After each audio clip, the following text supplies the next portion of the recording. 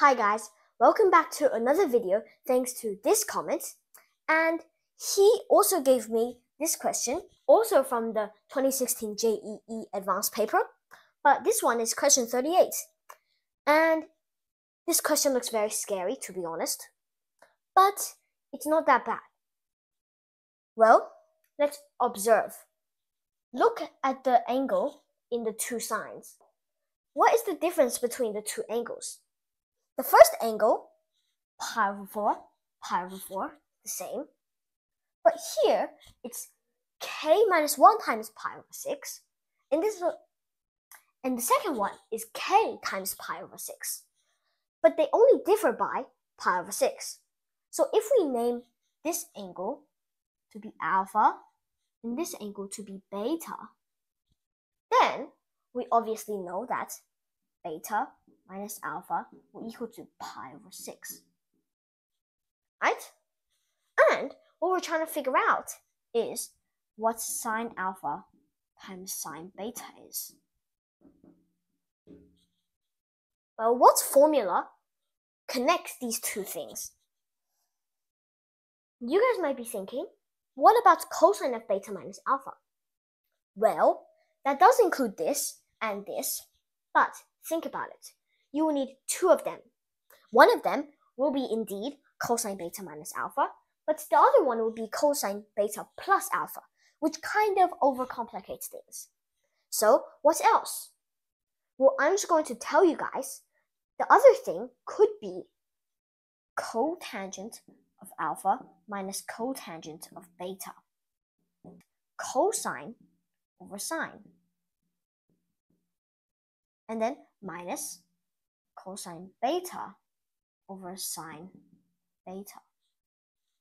Now we can make a common denominator, which will be multiply the two up, so just sine alpha, sine beta. And top will be this times that, which is cosine alpha, sine of beta, minus this times that. So it's cosine beta sine alpha. This is equal to, look at the top. This is an expansion of some sort, right? Well, this is actually sine of beta minus alpha. So, the bottom being sine alpha, sine beta, and the top is just sine of beta minus alpha. Now look, we have beta minus alpha, and we have sine alpha sine beta.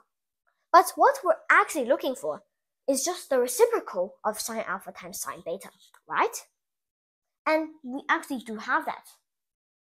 So cotangent alpha minus cotangent beta equals to this, right? So we know that 1 over sine alpha sine beta will equal to cotangent alpha minus cotangent beta over sine beta minus alpha. So it's just the top being cotangent alpha minus cotangent beta, and the bottom being sine of pi over 6. And this is equal to, do this in your head, sine of pi over 6 is 1 over 2. You can put the 2 at the top, so it's just 2 times cotangent alpha minus cotangent beta.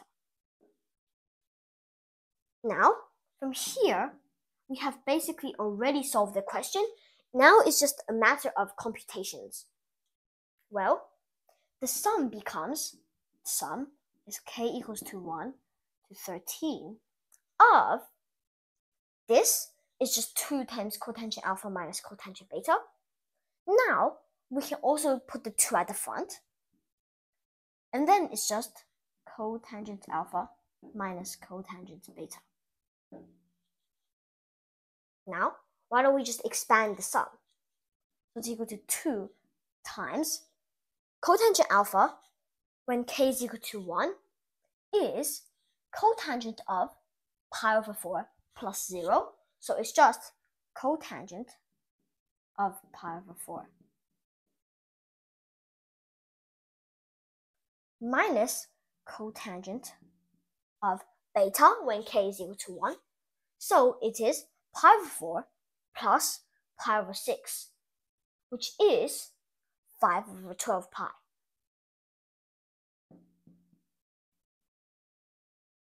And then you add it with cotangent of, when k is equal to 2, it's pi over 4 plus pi over 6, which is 5 over 12 pi. And then minus cotangent of, when k is equal to 2, it's pi over 4 plus 1 over 3 pi, which is 7 over 12 pi. And then you add it with all the way to when k is equal to 13, it is cotangent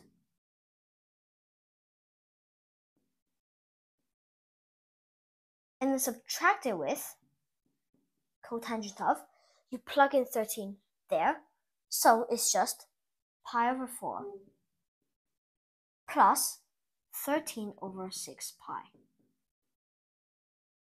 Don't forget the last bracket. And this is equal to 2 times, guess what? Cancel, cancel, cancel, cancel all the way to here.